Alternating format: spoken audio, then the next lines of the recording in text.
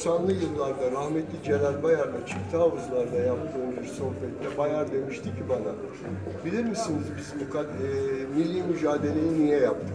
Ne zaman karar verdik?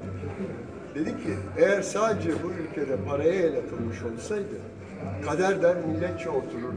Ama ne zaman imanımıza, bayrağımıza ve namus duygumuza el attılar o zaman silahlı mücadeleye karar demişti.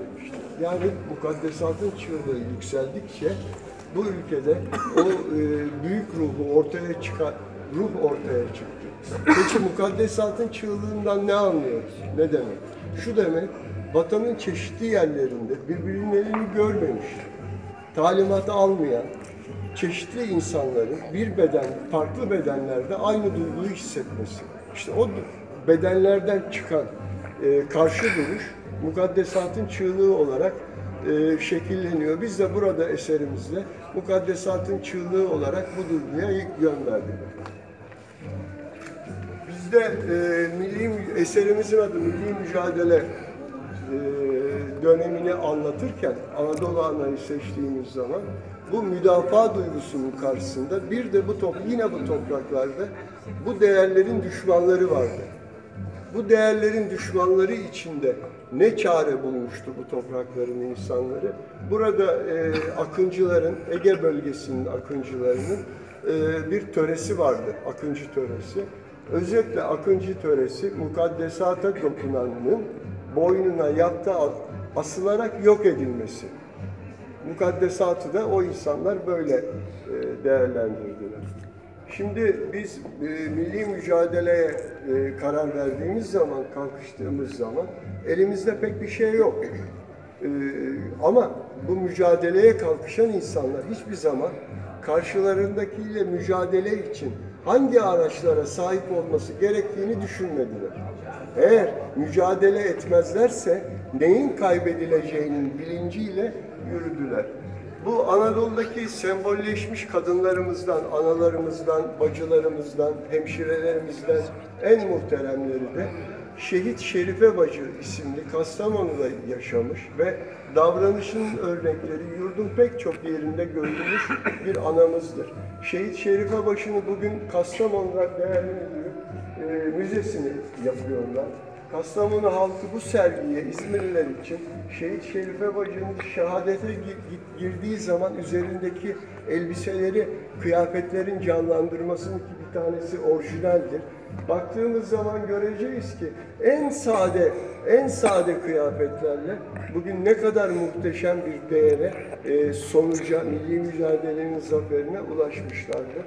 Allah rahmet eylesin Şerife Bacı, Sarı Öküz hastalandığı zaman yani Kastamonu'dan, İnebolu'dan Ankara'ya e, cephane taşıyan e, konvoyu, konvoydaki e, kanısını çeken öküz hastalandığı zaman yerine kendini koşmuş, bebeğini e, cephane içine bırakmış, maalesef yolda donarak şehadete ulaşmıştır. Mekanı cennet olsun.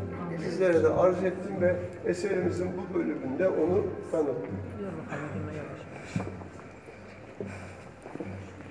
Değerli müdürüm, e, malumlarımız olduğu şekilde e, yine Anadolu Ana'nın mümtaz örneklerinden bir e, şahsiyette Balıkesir'de ortaya çıkmaktadır. Dikkat ederseniz bu eserlerin üzerinde saygıdeğer konuklarım bir gelincik çiçeği göreceksiniz. Bu sergide e, İstiklal Madalyası ve Türk e, bayrağımız yanında gelincik çiçeğini kullandık. Çünkü Anadolu'da Selçuklu ve Osmanlı döneminde Anadolu kadınının gelinlik rengi gelincik çiçeğinden ilham alırdı. Gelincik çiçeği çok kısa ömürlü ama sürekli yaşayan, kendini yenileyen, her bahar gelen bir çiçektir. Ve e, o gelincik çiçeği Anadolu kadınına yapılan saldırı ve o kadının değerlerine ortaya çıkan, çıkan e, kıymetler nedeniyle bu eserde gelincik çiçeğini kullandım. Bazı yerlerde kararttık, bazı yerlerde hakiki hüviyetiyle kullandım. E, saygıdeğer Makbule hanımefendi 20 yaşında e, gelin olmuş ve e, eşi Allah rahmet eylesin Halil Efe ile beraber e, daha gelinliğinin duanın e, tadına ermeden dağlara çıkmış. Namus, vatan, mukaddesat müdafasında savaşmış ve şahsiyetiyle erkeklere e, örnek olmuş. E, kötü durumlarda pusu kırdıran, e, geri durmayan, e, çok yürekli bir anamızdı, bacımızdı. Allah rahmet eylesin, e, şehadet mertebesine ulaştı. Şehit olduğu zaman bir efelik geleneği vardır. Efeler ağlamaz. Efeler ağlamaz. Komutanı İbrahim Ethem e, hatırasında yazmıştır ki şehadete mertebesine ulaştığı gün bütün efeler çocuk gibi feryat figan ağladılar.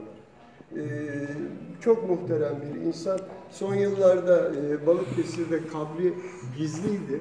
E, düşmanın eline geçmesin diye yerini ifşa edilmemişti, bilinmiyordu. Aradan geçen yıllarda Balıkesirliler o kabre ulaştılar. Bugün e, Makbule hanımefendinin ziyaret edilen, kabir taşı olan bir e, kabri var.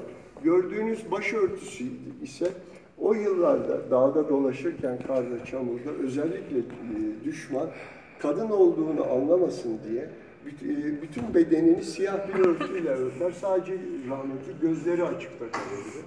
Bu e, örtüyü de bundan 8 veya 9 sene önce İstanbul'da İstanbul Büyükşehir Belediyesi'nin İSMEK'teki e, bayan e, müdüreleri ve personeli dikiş makinesi kullanmadan İzmirliler için ürettiler. 9 senedir bizdeydi. Bugün de sunmak nasip oldu sevgili müdürüm.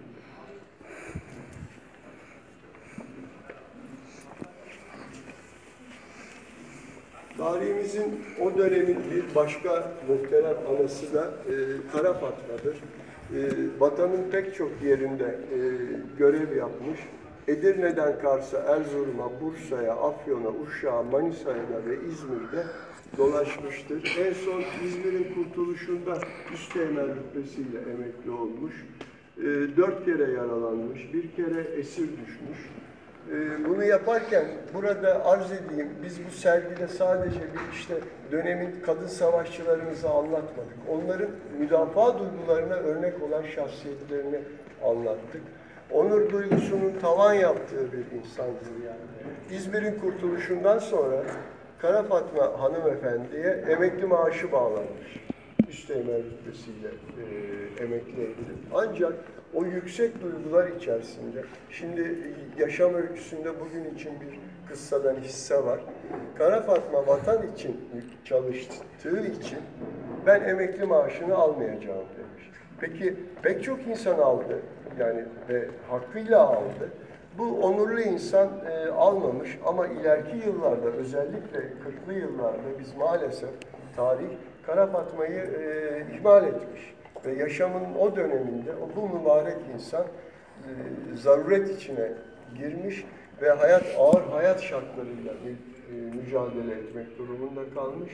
1950'den sonra rahmetli Başvekil Adnan Menderes'in e, aynı Osmanlı torunlarına e, yaptığı gibi hayatına müdahalesi bir nebze ferahlık getirmiş olsa da e, kıssadan hisse ne yaparsa yapsın insanlar yarını düşünerek de e, adım atmalı. Bir de peygamberimizin, sevgili peygamberimizin söylediği gibi e, vefa imandan gelir.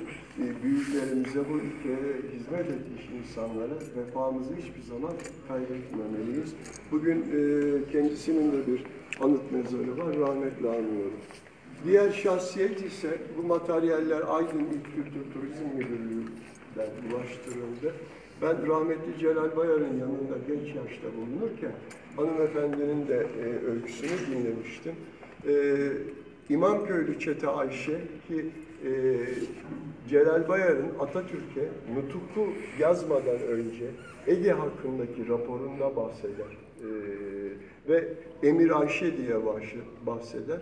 Onurlu bir Türk kadını, e, eşi şehadet mertebesine ulaştığı zaman köyde yani hep bildiğimiz analarımız gibi bir insan ama oradan silahını eline alıp erkeklere e, örnek olan ve e, peşine takıp giden ve ilk Aydın muhasarasında çok az sayıda silah arkadaşıyla 600 Yunanlı'yı kovalayabilen yürekli bir Anadolu kadını.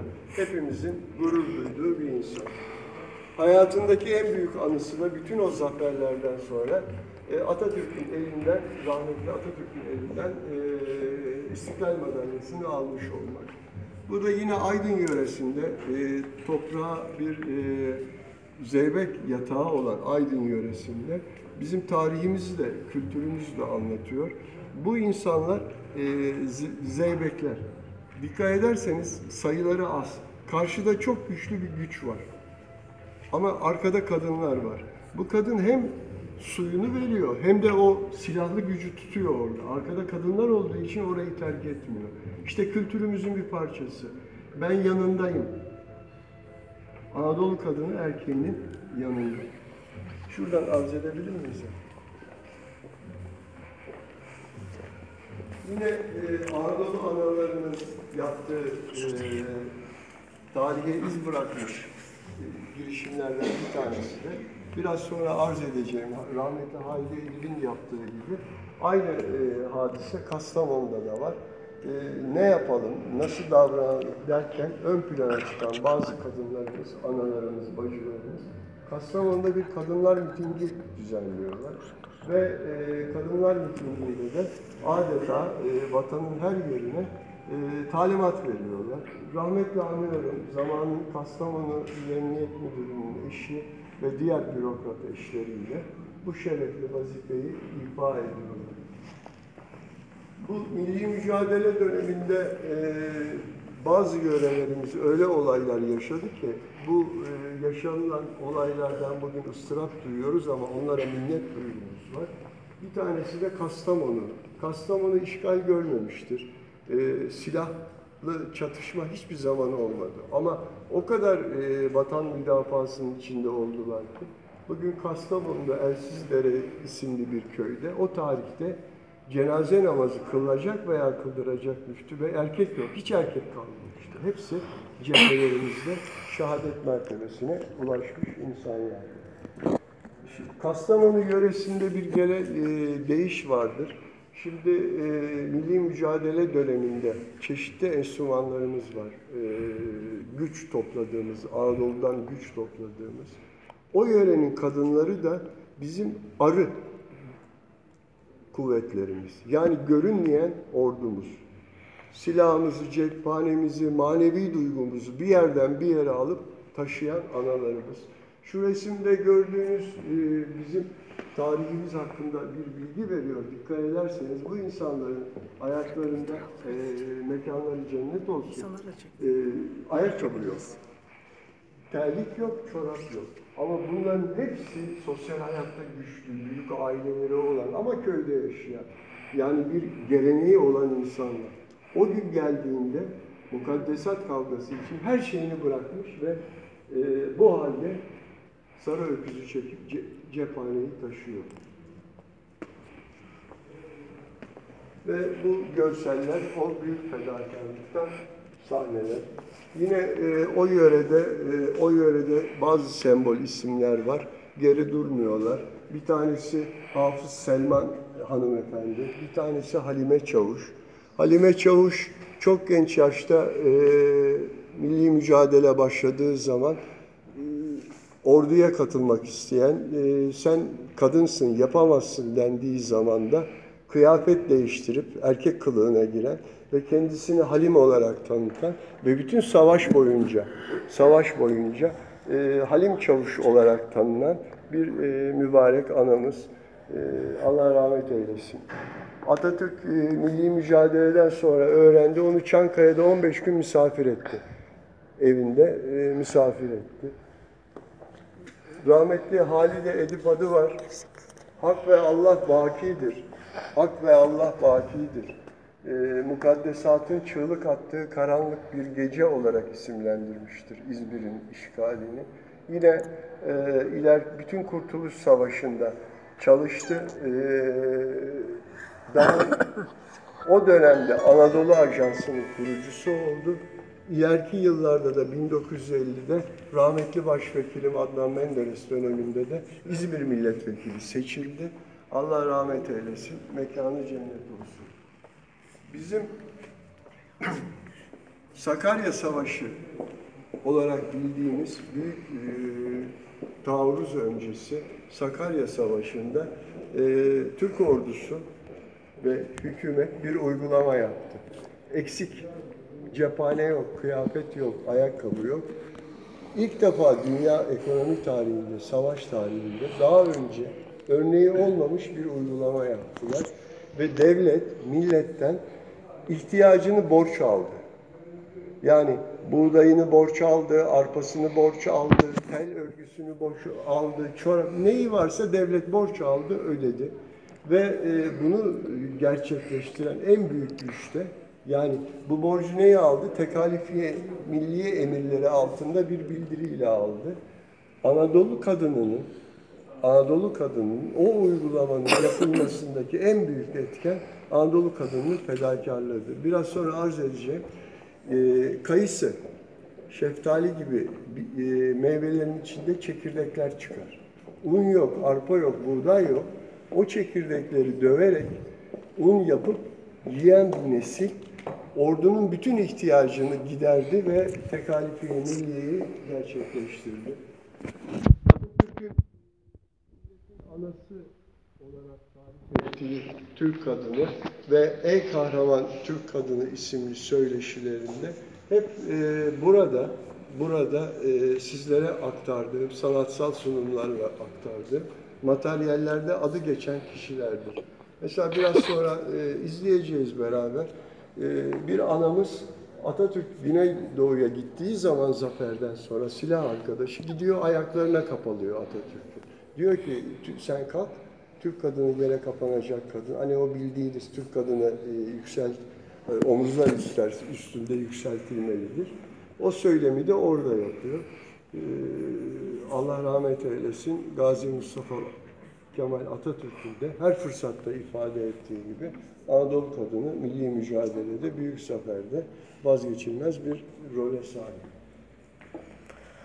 Gaziantep yine e, bizim e, mübarek bir vatan köşemiz. E, Gaziantep'liler e, önemli çalışmalar yapmışlar. Büyük bir müze kenti. Sayın Müdürüm Abdülaziz Bey, Gaziantep'te önemli müzeler var. Müzelerden bir tanesi de e, Kurtuluş Savaşı Müzesi. Bir müzeler kenti ve Kurtuluş Savaşı'nın çeşitli e, sahnelerini müze içinde canlandırarak genç nesle o ruhu aktarıyorlar, unutmamaya çalışıyorlar. Orada kişilerden bir tanesi de Cello'nun eminesi, yaşamış bir insan. E, tarihimizde çeşitli örnekleri vardır. Cello'nun eminesi, burada e, erkek, burada erkek var mı? Hadi erkekseniz düşün peşime diye. Gaziantep'li erkekleri arkasına takan muhterem bir ana. Ama öyle bir e, şey müdafaa çağrısı yapıyor ki elinde bir sopa ve e, üzerinde gelin çiçeği ve balta. Yani e, duanı, duanı bu şekilde düşmana karşı koruyan ve erkeğin ruhunu e, açığa çıkaran bir anamız. E, Bugün Türkiye'nin en büyük ilçelerinden 10. ilçemiz Gaziantep'in Şehit Kamil ilçesi.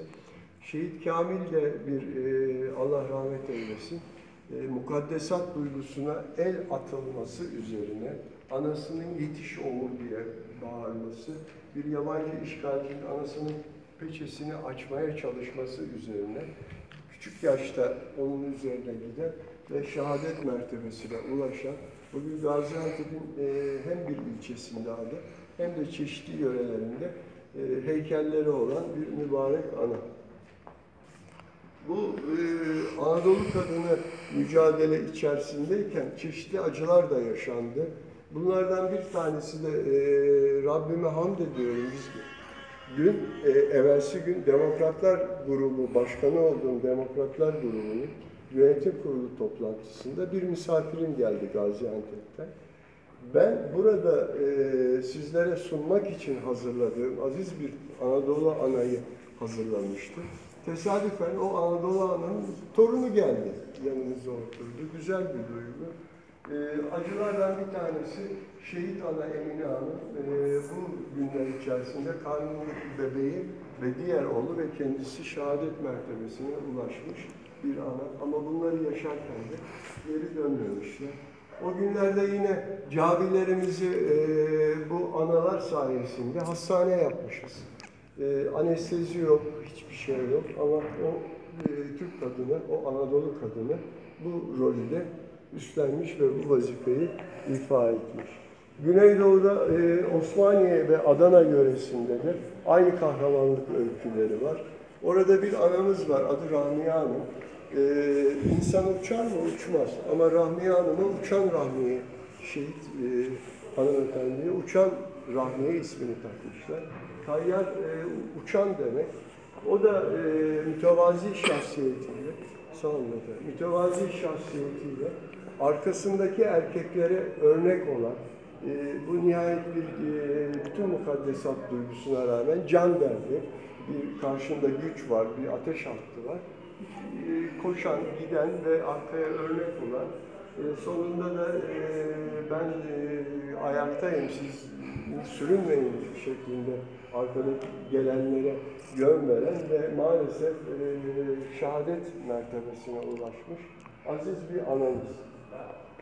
E, bir diğer e, aziz şahsiyet yine aynı yörede Adile Onbaşı, e, Adile Hala derler. E, hep örnek şahsiyetler. Yani büyük gruplar içerisine girmişler ve arkadan kitleleri sürüklemişler. İçlerinde e, zaferi görenler var. Atatürk'ün Türk kadını omuzlar üstünde yükseltilecek, yükseltilmelidir sözünü söyleten insan da Adile Onbaşı'dır. Da bu şekilde almış oluyoruz.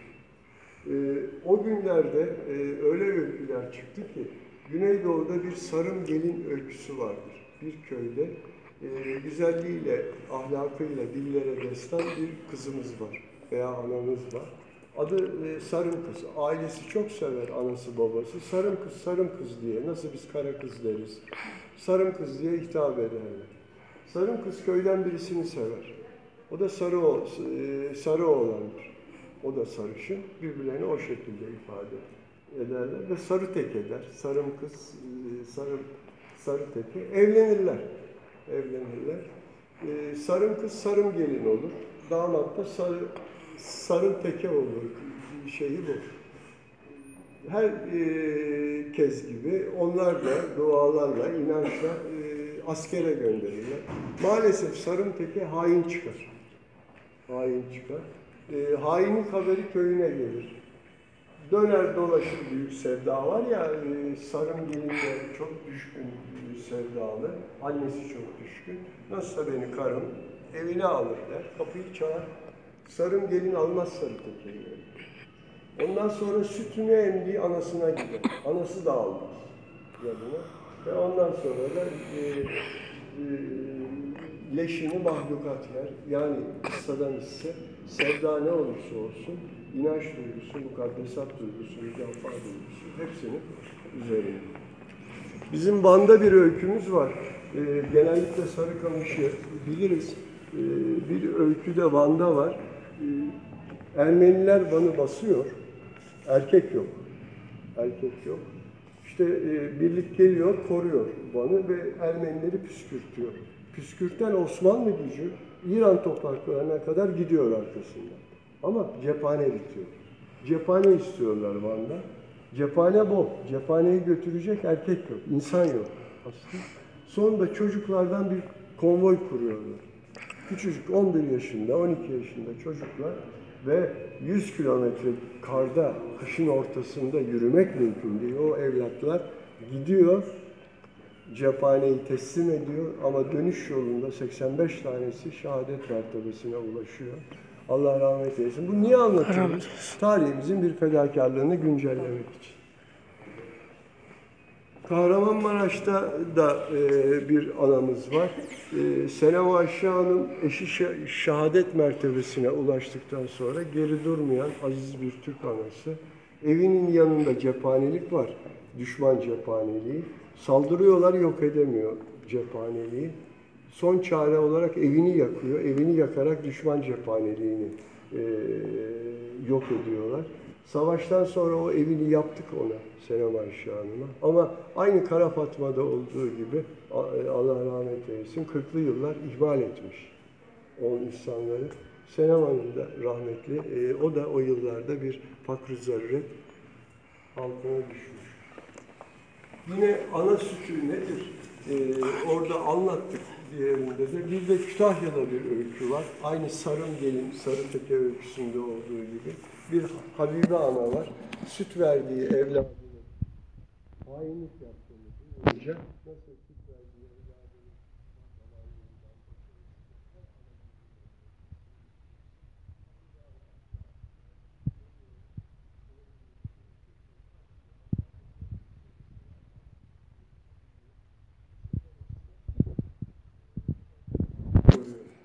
Şehit e, Allah rahmet eylesin Leyla Hatun 1954 yılının anası. E, büyük bir kahraman. 20 yaşında büyük bir kahraman. Tek başına Erzurum müdafasını sağlamış. Bütün Erzurum'u Ermeni saldırısına karşı peşine takmış. Erzurum'un nüfusu 80 bin kişiyken 8 bin kişiye düştüğü bir dönemde bağrını yırtarak o zaferi kazandırmış bir ana 20 yaşında yeni gelirken. Ve evini terk ederken şunu söylüyor, bir bebeği var. Bebeğini evde bırakırken e, saygıyla yad ediyorum. Seni bana Allah verdi, ben de seni Allah'a emanet ediyorum diyor. Bebeğini evde bırakıyor ve iman, namus, vatan müdafasına gidiyor. Başarıyor da. Bugün e, Erzurum'un pek çok yerinde heykeli var ama demin iki örnekte olduğu gibi Sayın Müdürüm, Nene Hatun'da fakr zerrete düşürmüşüz o muhterem insanı tezek toplamış. Ceketine bak. Asal sunumun da bir parçası, bir bilgi sunumu. Yine bu sunumdan e, burada tarihi anlatırken bir de bilgi sunumu yapmak istiyorum. Huzurlarınıza arz edeceğim. Tarihe bakarken 57. alaya hepimiz saygı duyuyoruz. Şehadet mertebesine ulaşmış bir aziz ve mübarek insanlar topluluğu. Hiçbirisi bir geri adım atmamış ve rahmete kavuşmuş. Ee, inşallah mekanları cennet olsun. O insanların hepsinin anası vardı, bacısı vardı, kardeşi vardı. O insanlar da kahraman. Peki şu 57. alayın ruhu ne oldu? Bugün bu şu tarih araştırmamda gördüm ki 57. alayın komutanı Hüseyin Avni Bey'in evinde küçük bir oğlu var. Küçük yaşta bir oğlu. Şehadetinden sonra oğlunu oku, oğlu oku- okuyor, devlet okuyor ve Harbiye'ye gidiyor. Kız kardeşi de ayrı bir yöne doğru gidiyor. Hüseyin e, Avni Bey'in oğlu 1922'de Harbiye'den mezun oluyor.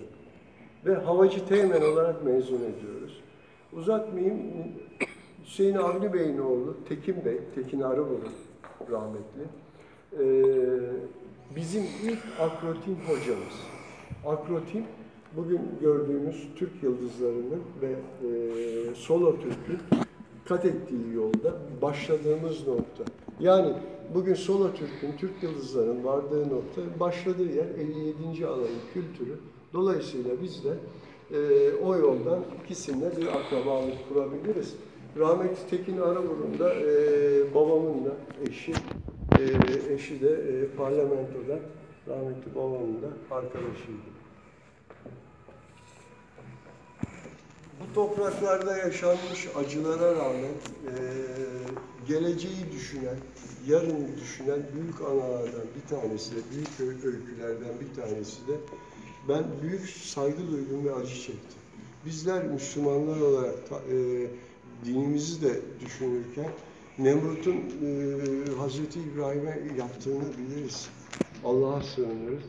E, İstiklal Savaşı'nda e, Ege bölgesine Yunanlı komutan biraz önce size arz ettiğim bir anayı sıkıştırıyor. Akıncıların yerini öğrenmek istiyor. Önce para diyor. Yok, e, baskı yapıyor yok ve şehit e, Nazife Hatun'u fırına atıyorlar canlı canlı.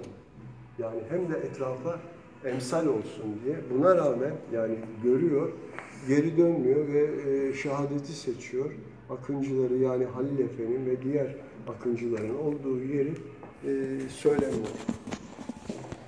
Uşak'ta e, yaşanmış öyküler var. Orada da hem ana hem kız vazgeçmeyip, mukaddesat teslim etmeyen, e, komşusunun yan, evi yanarken su taşımaktan vazgeçmediği için ana kız şehit olan analarımız. Yine e, Alaşehir Kongresi e, tarihimizde önemli, Manisa'mızda elinde. Aile geçmişinin de öyküsü içinde yer aldığı bir nokta. Orada e, biz e, milli mücadele bir taraftan sürerken diğer taraftan da pek çok kadın direncini sürdürdü.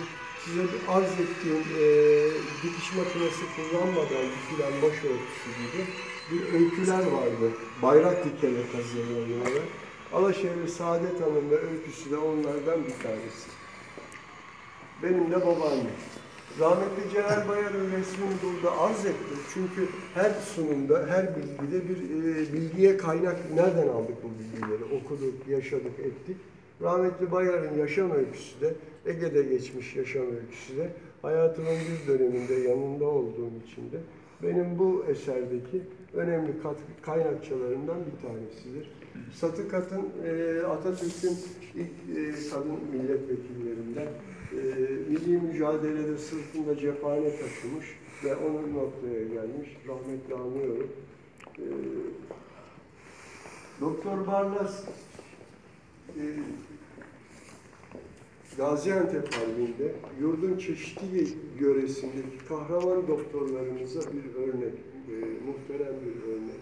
Anestezinin olmadığı, ilacın olmadığı bir dönemde binlerce hayatını.